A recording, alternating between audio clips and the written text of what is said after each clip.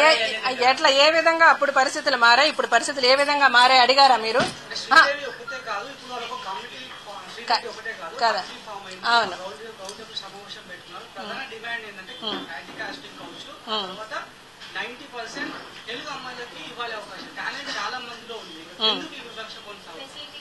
Correct అండి. అదే నేను దానికి ఇంతకు ముందే మీకు సమాధానం చెప్పా. ఒక సినిమాకి సారీ అంటే వీళ్ళు ఈ క్వశ్చన్ వచ్చే ఉంటారు కదా దీనికి సమాధానం ఏంటంటే ఒక సినిమాకి కాస్టింగ్ అనేది తెలుగు తమిళ మలయాళమా అని ఆధారపడదండి. సినిమా ఏంటి దాని కథ ఏంటి దానికి సూటబిలిటీ ఉన్న ఆర్టిస్టులు ఎవరు సేలియబిలిటీ ఉన్న ఆర్టిస్టులు ఎవరు ఎవరిని పెట్టుకుంటే ఒక రూపాయి డబ్బులు వస్తాయి. వీళ్ళందరూ వీళ్ళందరినీ డబ్బులు పెట్టమనండి సినిమా తీస్తాం. వీళ్ళందరినీ పెట్టి సినిమా తీస్తాం.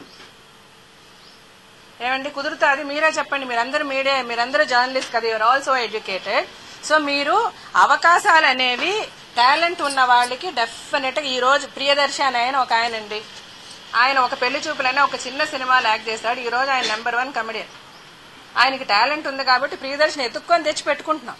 టాలెంట్ అనేది ఎక్కడున్నా ఏ మూల దాగి ఉన్నా బయటకు వచ్చి పిలిచి పెట్టుకుంటారు. అక్కడెక్కడ భాషా భేదం అనేది లేదండి.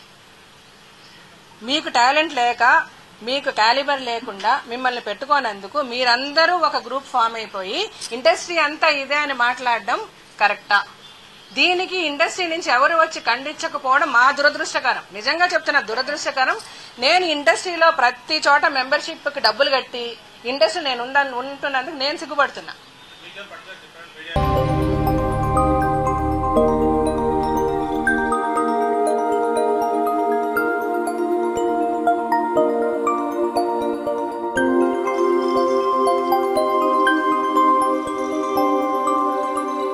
ఈ వీడియో గనుక మీకు నచ్చినట్లయితే లైక్ చేయండి. షేర్ చేయండి. అండ్ సబ్స్క్రైబ్ చేయండి.